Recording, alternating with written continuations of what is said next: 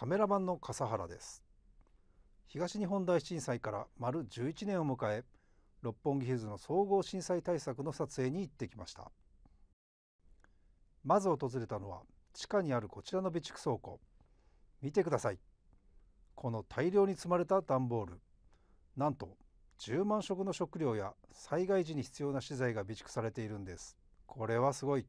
六本木ヒルズともなるとこんなに大量の物資が必要なんですね。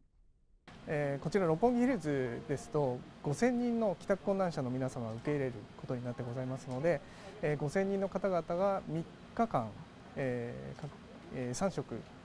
えー、そういった備蓄品とともに、えー、当社のスタッフですね社員それから協力会社の皆さん、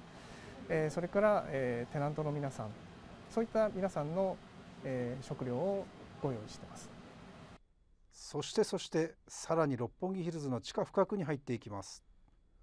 向かったのは地下6階。地下6階もあるんですね。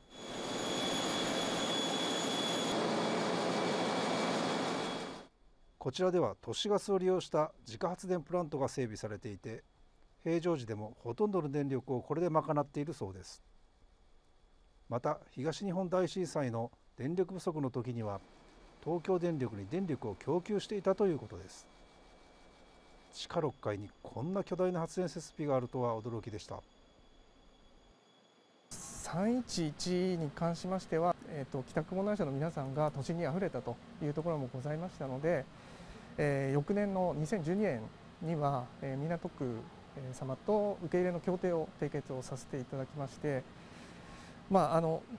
我々がですねできることを、えーやらせていただこうと六本木ヒルズでは逃げ出す街から逃げ込める街をスローガンに地域や働く人たちの安全安心の一翼を担っているということでした。